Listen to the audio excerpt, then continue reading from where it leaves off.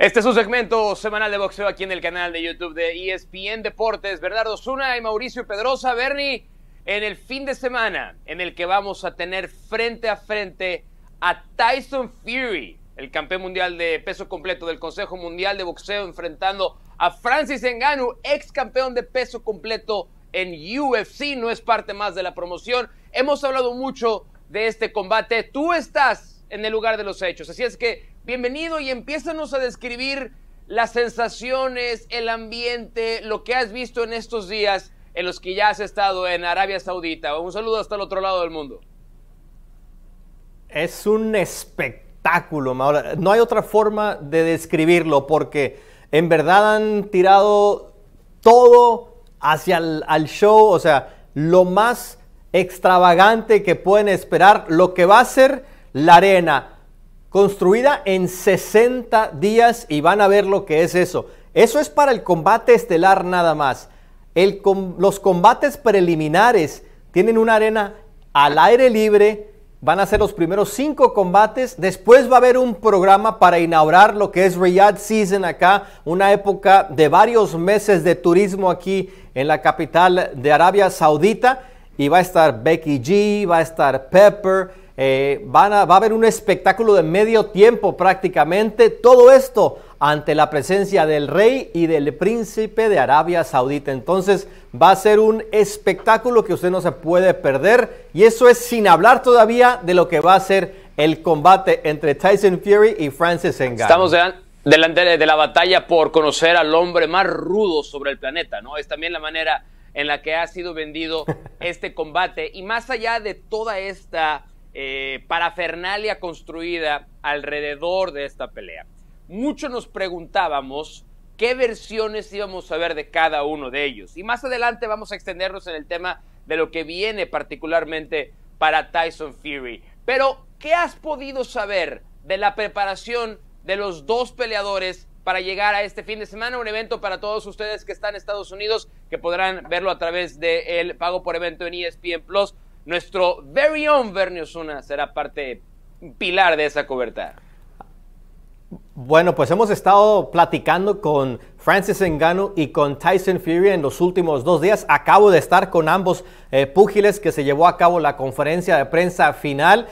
Y en, en, realidad los dos están tomando muy en serio este combate. Me sorprendió más de parte de Tyson Fury mm. porque en nuestras conversaciones estaba hablándonos de los combates en los que no lució tan bien eh, el peleador de artes marciales mixtas. Entonces, el estudio que hizo de su pelea en contra de Lewis, la derrota que tuvo en contra de Stipe Miocic, en verdad nos sorprendió porque esperamos que no estaba tomando tan en serio Tyson Fury a Francis Ngannou, pero nos llevamos la sorpresa de que lo ha estudiado en cada ámbito y también cuando era kickboxer. Entonces, el análisis de Tyson Fury para este combate, a sabiendas de que le espera el duelo por el título indiscutido en contra de Alexander Usyk, es no subestimar a el peleador de MMA. Y para Francis Ngannou, muy claro, dice, yo estoy debutando como boxeador profesional ante el número uno del mundo en la división de los pesos completos y no cualquiera.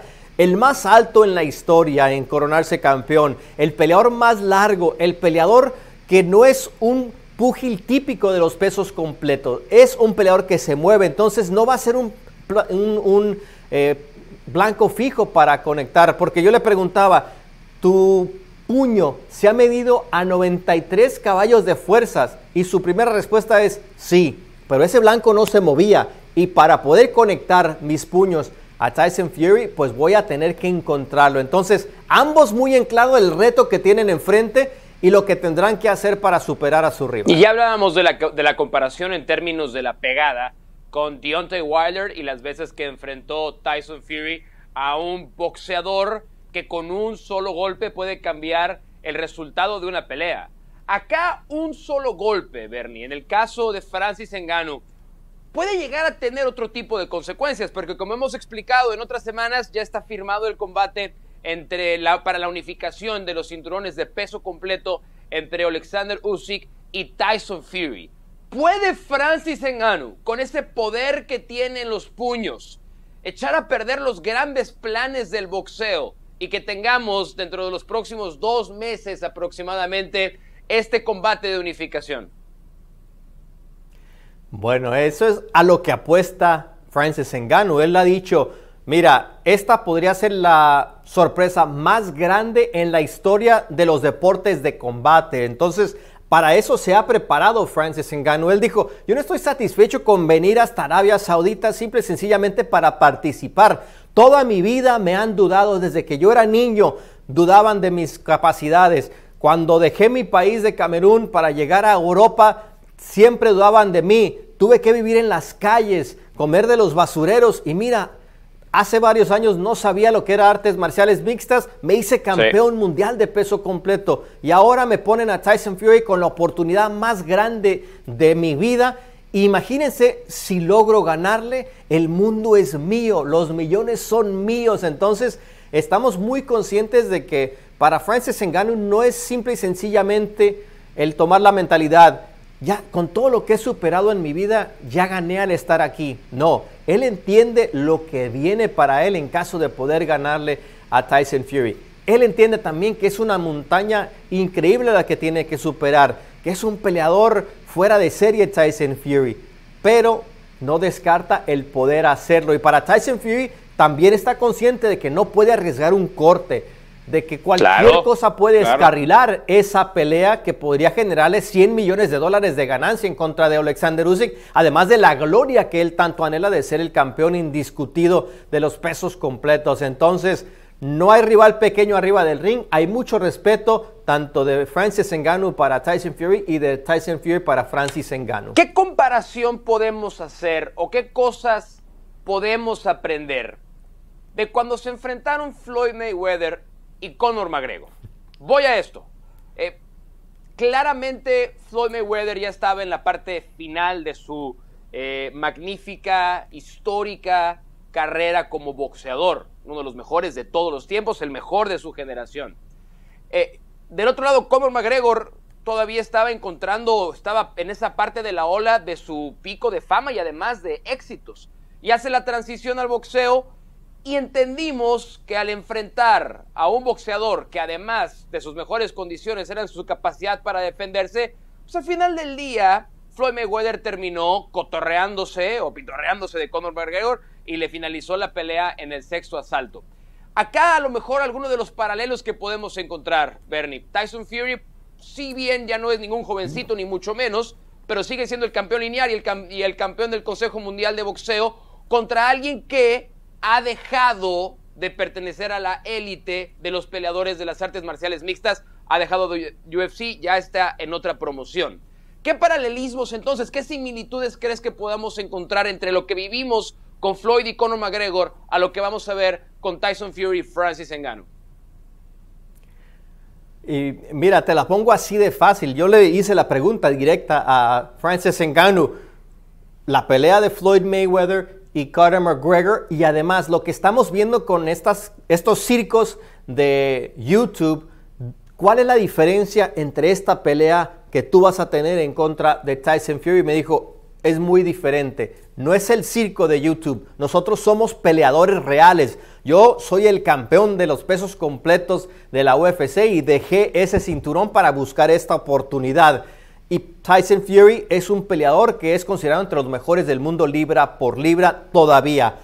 Y lo de Floyd Mayweather y Conor McGregor dice, Conor no sabía tirar las manos, yo sé cómo tirar los golpes. Yo soy un peleador que empecé como boxeador antes de ser kickboxer, antes de entrar a las artes marciales mixtas y siempre me descartaron, pero aquí estoy.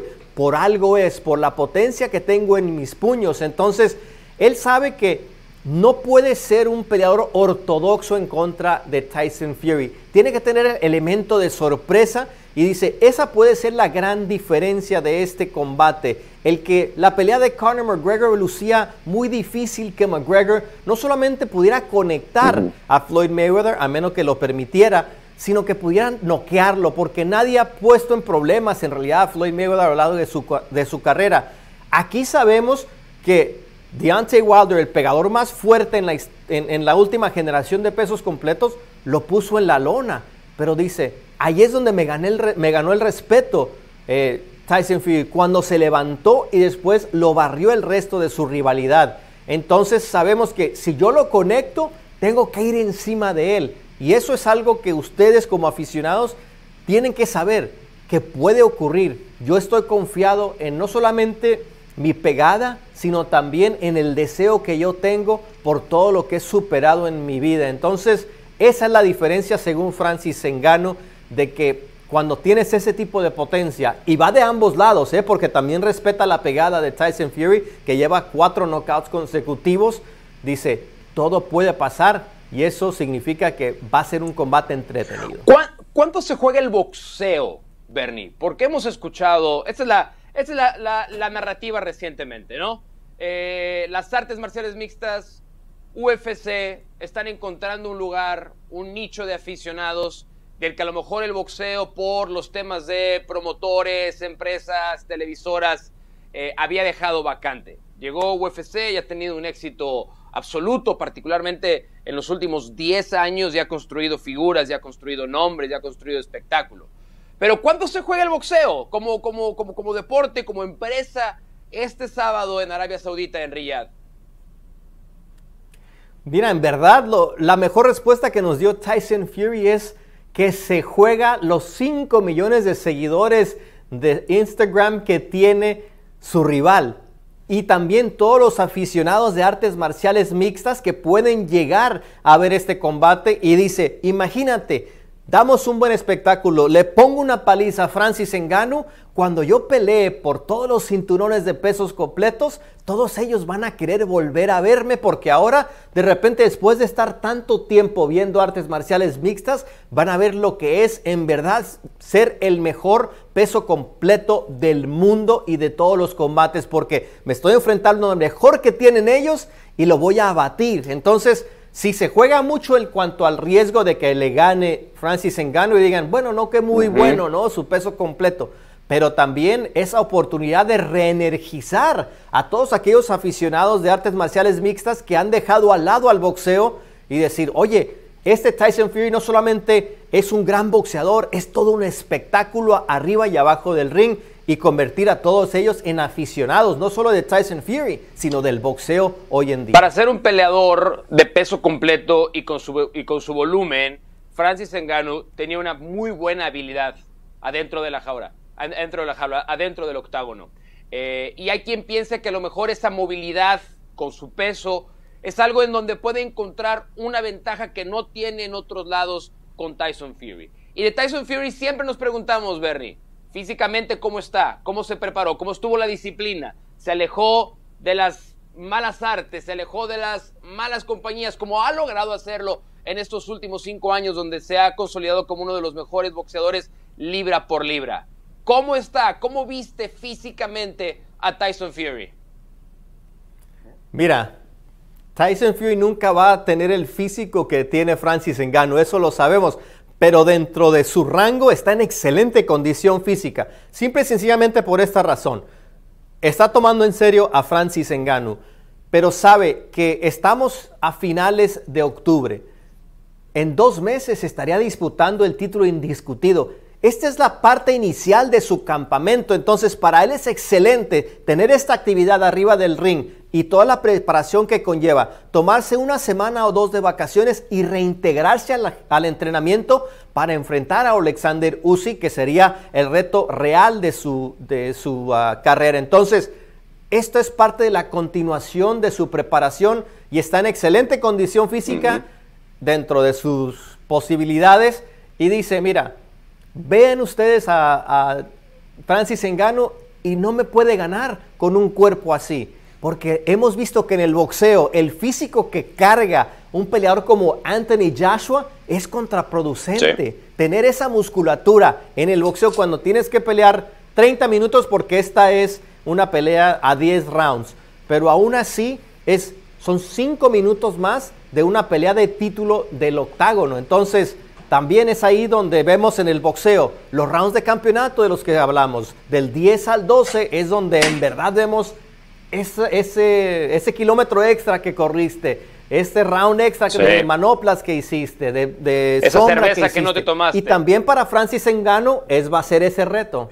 Eh, va a ser un gran espectáculo. Bernie, eres un privilegiado como siempre. Te envidiamos de que estés ahí para la cobertura de ESPN, ESPN Plus, el pago por evento, 2 de la tarde, tiempo del este en los Estados Unidos. Tyson Fury, el campeón de peso completo del CBB, enfrentando a la gran, gran figura de las artes marciales mixtas, Francis Ngannou, para conocer quién es el hombre más rudo sobre la tierra. Bernie, que disfrutes la transmisión. Vamos a estar escuchándote y viéndote, que la pases muy bien. Y acá nos vemos para platicar cómo nos fue la próxima Chakran.